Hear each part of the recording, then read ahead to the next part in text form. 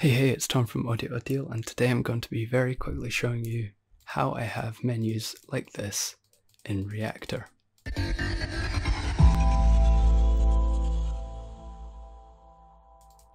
So it's actually very simple. To do this, what we need is in our instrument, we need a stacked macro with each envelope separately in a different macro. So macro 1, macro 2, macro 3, macro 4. In stacked macros, what happens is when you send a number to the panel index, it shows that number of macro. So for example, if we send a 1, we'll have macro 1, macro 2, macro 3, and macro 4. Now these could be different controls in each one, but in this case it's just the same, it's envelopes in each of these. What you could do is you could actually have eight options and have envelopes and LFOs, so if you clicked on one, it would show this set of controls, and if you clicked on another, maybe it would show this set of controls. But I have it set out a bit separate like this. Now then, to create something like this, what you need to do is design an image for the background. What I have here is an Adobe Illustrator file. And for this, I set something 320 pixels wide and let's say, I think it was 100 pixels tall. Tall isn't as essential as wide. Wide matters a lot because you need to do some maths. And then what you do, you create four images. One with this selected. We can turn that off. One with, let's say, this one selected. Envelope 2. We could create a fill. Maybe we could make it transparent. And we just render four images with that selected, that selected, that selected, and that selected. So the middle bit looks the exact same then you think you're just selecting the tab, but actually I'm repeating this image completely. So you could even have a different background texture on each of these. Let's say you wanted to mimic different compressors, you could have different layouts or different picture designs like that. I've kept it so it stays the same and it's only these little squares that change. Now then, to do this, we have our normal macros which get selected like this in this case, I have them all sending out at once. Sometimes you might only want to enable the one you've selected and then you just do a selector or a scanner and route that. But the main thing here is our mouse over area. If we go into properties and we view this, we can actually show this if we set the transparency to 5%, 5%, you can actually see this box here. I'm going to bring it up to 50 there's a box over these controls and that tracks firstly when you click and secondly where you click. And this is why it's really important to have the number of pixels across set out because this is 320 pixels across as I had designed in here. This is a slightly different one, but I use 320 quite a lot for, especially for menu items. And this means when I select roundabout here, it's 40, 80, 120, 160, 200, 240, 280, 320, for example. And that's tracked here with the pixel X. So as we go along, it's tracking the X position. And then BL, the only other input out of all these that we actually need to track, is tracking when it's clicked. Now I've created a macro here that takes those two in. What we have to do is divide by 80 because each of these sections is 80 pixels wide. So let's say we're here just before the envelope 2 section. So what would this be? This would be like 79, 75. Divide that by 80 and that might be 0.9. And what we need to do is convert for numbers between 0 and 1 for this one, 1 and 2 for here, 2 and 3 for here, 3 and 4 for here, because that's going to select the output of the selector, which is going to give the panel index of, let's say, 1, 2, 3, 4.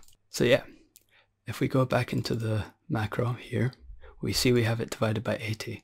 Now this is a really, really important one because what happens with this is when you click, it sends the click signal as 1 when you hold the mouse down and it releases it when you let go. And what we need to do is read the X position and then trigger that X position as we click. And that sends the output there. The other important thing about this value is it doesn't just stop once you've clicked it, it continues sending it. if we didn't have this, what would happen? You'd click it, it would very briefly select envelope 3, for example, and then as soon as you let go of the mouse, it would default back to, let's say, envelope 1 or 0 or some random buggy number, and you wouldn't get the right one. So this value is really important here because it allows you to select and basically hold that signal of what you're showing. The next one, I've created a core value here. And the reason I have this minus 0.5 is just simply for the way the numbers work and the rounding. What we need to do is take away 0.5 so it rounds correctly. This very much depends on how you have it set up and stuff, but I found when I selected in the first half of envelope 1, it correctly selected it, but in the second half it actually rounded up to envelope 2, and we didn't want that, so I just had everything taken down so everything rounds a bit better. And then all we need to do is have these constants coming out. And that means when we go into the selector, as it sends the value, let's say here, of 0.5, that selects the first constant, which in this case is 0. And that will send 0 out. When I select here, anywhere in this box, it will send the constant of 1. Anywhere in this box, the constant of 2 and anywhere in this box it will send the constant of 3. And that goes out straight into the panel index. So when we're sending, when we're clicking on here, it sends 0 out into the panel index. And because it's a 0 index, um, it goes for the first one. As we click here, it sends 1, which in zero-based numbering is the first, isn't the first one, it's the second one. Then this selects the value 2, so 0, 1, 2, we're envelope 3, and then envelope 4 will send a 3 into the panel index, which will select envelope 4. Bit confusing, a lot of this, but it's actually not that bad. The main things to consider are your mouse area has to be an easy number, and the picture behind has to be a nice number to divide by.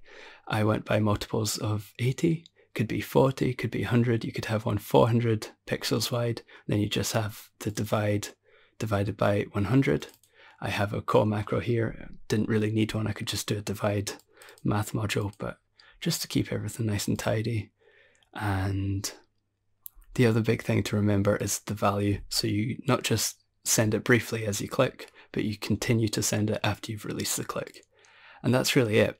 The other thing to do when you're making this is just add little comments into your primary layout.